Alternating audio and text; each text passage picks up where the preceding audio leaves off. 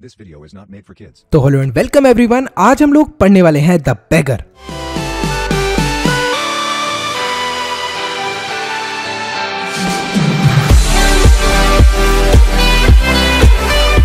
Advocate सरगी से ये कहानी शुरू होती है।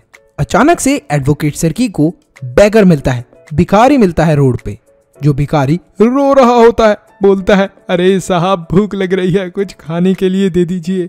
साहब, मैं स्कूल में एक टीचर हुआ करता था, मुझे मेरी नौकरी से निकाल दिया, बहुत ज़ोर की भूख लगी है, ज़रा कुछ खिला पिला दीजिए।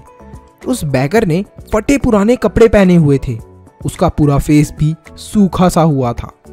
चेहरे पर बिल्कुल भी रेड स्पॉट्स नहीं थे। जैसे आपने देखा होगा हेल्दी लोग होते हैं ना, उनका फेस थोड़ा थोड़ा सा रेडिश सा होता है, लेकिन इस बैगर का फेस बड़ा ही अजीब सा था डार्क सा था और पूरे चेहरा सूखा हुआ सा था मतलब बहुत पतला सा था। तो यहाँ पर जो बैकर था, उसका एक जूता काफ़ी ऊँचा था और एक जूता काफ़ी नीचा था। मतलब कि ज़रूर उसने ये जूते कहीं से उठा लिए होंगे या किसी से मांग कर पहने होंगे। सर की इस बैकर को रिकॉग्नाइज कर लेते हैं। बोलते हैं, अरे, सदोविया स्ट्रीट पे मिले थे तुम तो मुझे। तुम तो वही हो ना जो ये बता रहा था कि मैं स्टूडेंट हूँ।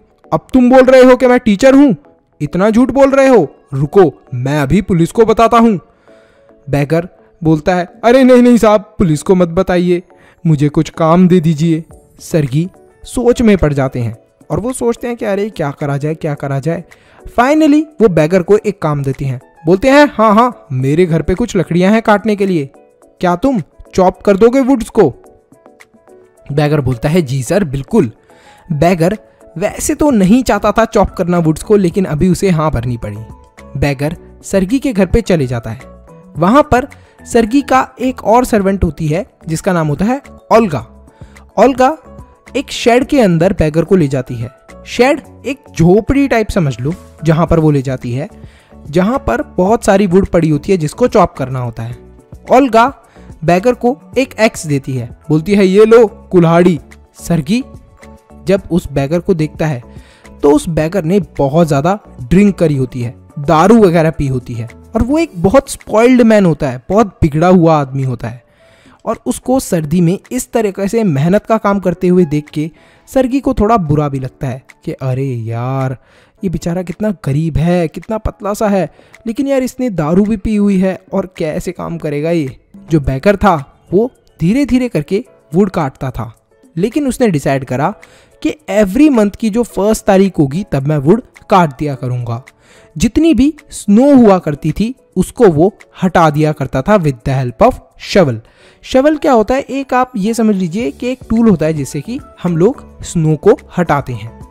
बैगर का और भी काम थे घर के अंदर। जैसे कि वो रग और जो मैट्रेस होते थे, उनसे कूड़ा भी निकाल दिया करता था। अब कूड़ा कैसे निकालता था? जैसे आपने सुना होगा, झाड़ना वर्ड जो हमारे रग्स और मैट्रेस होते हैं, जो हमारे गलीचे वगैरह बिछे होते हैं, इनको झाड़ झाड़ के हम लोग इनसे मिट्टी निकाल देते हैं।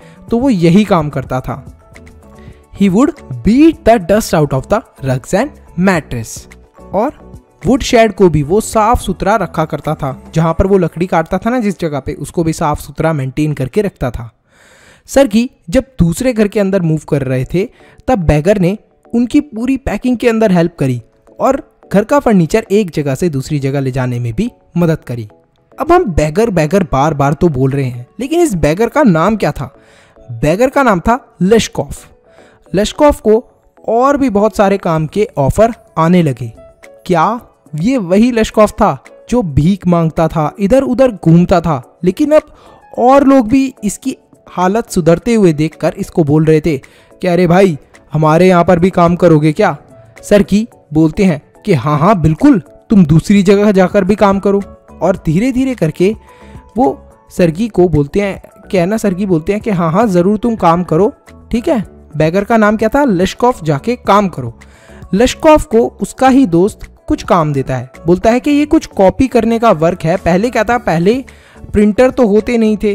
टाइप राइटर भी बड़ी मुश्किल से लोग यूज़ करते थे। तो जनरली क्या करना होता था? लोगों को टाइप राइटिंग करनी होती थी या फिर हाथ से लिखनी होती थी चीज़ें।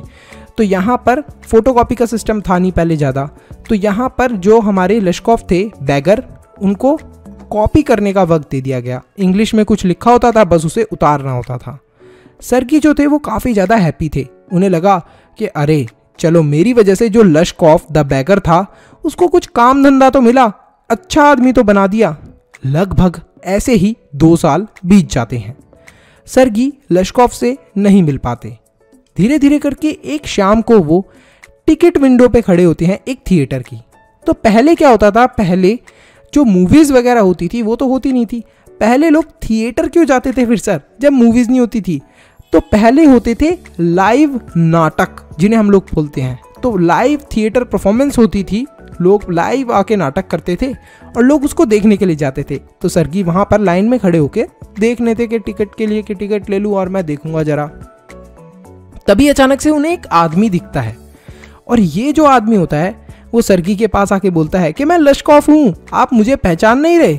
और वो ये भी बताता है कि अब मैं एक नोटरी बन चुका हूँ। Notary, advocate. एडवोकेसी का ही ज़्यादातर काम करते हैं, एक तरीके से गवर्नमेंट का जो लीगल काम होता है, उसे संभालते हैं ये। तो वो नोटरी बन चुका था, जो कि काफ़ी अच्छी जॉब है। और वो ये बोलता है कि अब पता है, मुझे थर्टी फाइव रूबल्स तनख्वाह मिलने लगी है। वो सरगी को थैंक यू बोलता है बोलता है कि आपकी वजह से मैं इतना अच्छा आदमी बन गया। नहीं तो पहले मैं इधर से उधर घूमता रहता था। और यही सारा काम मैं शायद अभी भी कर रहा होता। लोगों से झूठ बोल रहा होता, उनसे भीख मांग रहा होता और गंदे संदे फटे पुराने कपड़े पहन के घूम रहा होता और ड्रिंक कर रहा होता। तो ये सारी चीज़ें वो सरगी को बोलता है और थैंक यू बोलता है। वो सरगी को ये भी बोलता है कि प्लीज़ ओल्गा को, जो कि कुक थी आपके यहाँ पर, जो दूसरी सरगी के यहाँ पे जो दूसरी जो सर्वेंट थी, उसको भी जाके आप थैंक यू बोल देना। ओल्गा बहुत अच्छी थी। ओल्गा मेरे लिए लकड़ियाँ भी काट दिया करती थी कभी कभी और इतनी ज़्यादा मेरी हेल्प वो करती थी। हँसी मज़ाक भी करती थी मेरे साथ, और ओल्गा की वजह से ही मेरे जो अंदर चेंज ऑफ़ हार्ट आया, वो ओल्गा की वजह से ही हुआ। चेंज ऑफ़ हार्ट मतलब कि जो उसका दिल दिल और दिमाग के अंदर जो भी बदलाव आया उसने ओल्गा को देखा उसके साथ अच्छा करते हुए तो उसके दिल और दिमाग के अंदर भी बदलाव आया। He was right by Olga and would never forget her तो वो ये बोलता है कि मुझे ही आ, मुझे जो सही रास्ता दिखाया वो ओल्गा की वजह से मुझे एक तरीके से मैं सही रास्ते पर आया और मैं कभी भी ओल्गा को भूल नहीं सकता। उसने मेरी बहुत हेल्प करी। तो यहाँ पर हमारा जो चैप्टर है वो ख़त्म होता है। मैं आपसे क्वेश्चन पूछना चाहता हूँ। कि जो हमारे, ये जो पूरी स्टोरी थी, इसके अंदर जो बैगर था, उसका नाम था लशकॉफ। लेकिन जो लशकॉफ था, वो शुरू में जब हमारे एडवोकेट सरगी से मिलता है तो वो क्या प्रिटेंड करता है कि मैं कहाँ पर जॉब करा करता था? फटाफट कमेंट सेक्शन के अंदर कमेंट करके ज़रूर बताएँ। तो अगर आपने इस वीडियो को यहाँ तक देख लिया है तो फटाफट लाइक करो चैनल को सब्सक्राइब करो और कमेंट करो अपना बेस्ट पार्ट इसी के साथ साथ वीडियो को शेयर करना मत भूलना। एक इंपॉर्टेंट अनाउंसमेंट अगर आप लोग चाहते हो कि हम लोग फ्यूचर में इसी तरीके से और भी वीडियोस बनाते रहें तो आप हमारे चैनल के मेंबर बन के हमें सपोर्ट कर सकते हो। अब मेंबर कैसे बनना है? सब्सक्राइब के साथ में जो ज्वाइन बटन है, उस पर क्लिक करें और हमारे चैनल के मेंबर बन जाए। तो आप हमें सपोर्ट कर रहे हैं डायरेक्टली कि हम आगे फ्यूचर में ऐसे ही वीडियोस लाते रहें। तो thank you so much for watching this video stay happy stay healthy मनुष्य ज्ञान लेते रहो। बाबा till then see in the next video